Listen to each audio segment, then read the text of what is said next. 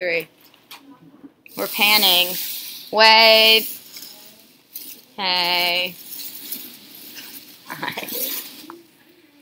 LOL. Okay. Two years ago, I got to spend a month working in Haiti with my best friend Madison. A few days after our, our arrival, we were sent to the market with the Haitian cooks to bring back the food for the following week. Everyone was looking at us, and I mean, we did kind of stick out. We had really white skin, weird clothes, and we didn't speak a word of Creole. But there was something else in their stares that was just different. After a while, Madison whispered to me and she said, They know. And I was like, They know what? She said, They know that we're Americans. She went on to say that when she had been in Africa the past year, the people had been so full of joy despite their difficult circumstances because they didn't know any better. But in Haiti, where Miami is just a two hour plane ride away, the people know how much we have in the U.S. They know that we will never go hungry or die of a curable disease. Our children won't die of malnutrition. But all these things are normal occurrences in Haiti and countless other third world countries. There is no one solution to bring an end to famine and illness, but the use of GMOs, or genetically modified organisms, in the third world could be a good start. I want to show you that GMOs, while they have a bad rep in the US, could be used to save countless lives in the future. Now, before I can tell you about how G GMOs could benefit the developing world, we need to see what the problem at hand is. Uh, GMOs are anything that have genetically modified um, DNA.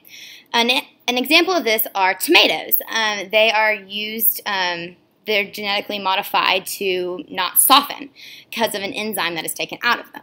In the US, GMOs are usually seen as something to avoid, as researchers do not know what eating them could do over a long period of time. However, this doesn't mean that they should be completely discredited. Marie Morris states in her article, Public Views on GMOs, um, Deconstructing the Myths, published by the European Microbiology Organization's annual journal, states Scientists do not know or understand the full extent of their work. They cannot associate the long term con consequences, meaning that the first world is simply speculating on what will happen. Now, when I say first world and third world, what exactly does that mean? Uh, the first terms, first world, second world, and third world, were developed during the Cold War, where the first world was the U.S. and its allies. The second world was the Soviet Union and its satellites, and the third world was everybody else. The third world was largely neglected as the two superpowers um, fought it out during the Cold War, and so it was largely neglected, leading to many of the problems that it faces today. According to the European Microbiology Organization's annual journal, one in nine people are suffering from chronic undernourishment in today's world. It goes on to say that food distribution is not the main problem of famine. There is simply not enough food in countries um, that are hit by natural disasters. The African News Service Journal stated that over the past 10 years, 10,000 farmers have committed suicide due to poor harvest. And while most of us do not fear of dying from diseases like measles or mumps, Citizens in third world countries um, fear dying from this every day. We know that there is hunger and starvation in the world, and we see that famine and illness are real problems in the majority of today's world. But what's the solution?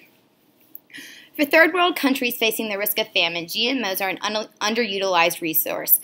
The studies for the the University of South Africa provide new data on the Health Services Research Transit Journal speaks to how crops can help agricultural households um, relieve certain uh, financial burdens, such as insect repellent and replenishing destroyed crops.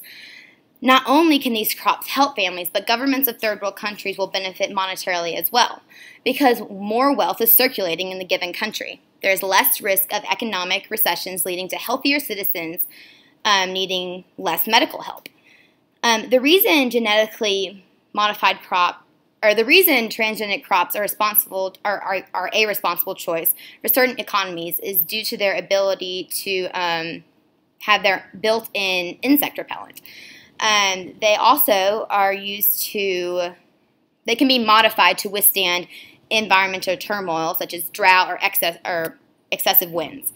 Genetically modifying crops can help lead to large crop, crop supplies defend against things like droughts and insects and oversaturation.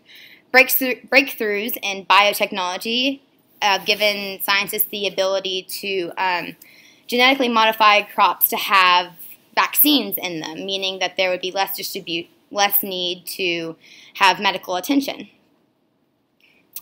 Um, there would also be no risk of unsterilized needles, and the process of vaccinating would become much less stressful and much less effective, and much more effective. GMOs should be used in the developing world as a means of reducing famine, malnutrition, financial burdens, and disease. We as Americans do not fear of dying from disease or starvation, but does this mean that we shouldn't care about those who live with these fears? The population of the world is growing at such a rapid pace that the United Nations' most recent estimates of what the world population would be in 2050 is 40, no, not 40, 400 million more than what is previously estimated in 2010. This just means there will be more people's need, more people's basic needs will need to be met. Dr. Mercedes de Onis of the Department of Nutrition for the Health and Development in the World Health Organization stated that the future of American of human societies relies on children being able to achieve their optimal physical growth and development. The first world is largely responsible for what the third world for how underdeveloped the third world is.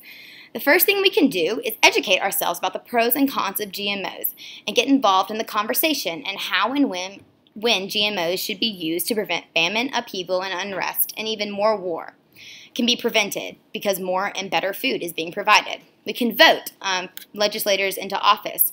Um, they can have the power to make these changes. These simple steps will help create a world where people don't fear of dying of hunger or, or curable illness. We can now see simply providing more food will, um, will build will help lead to a more peaceful future.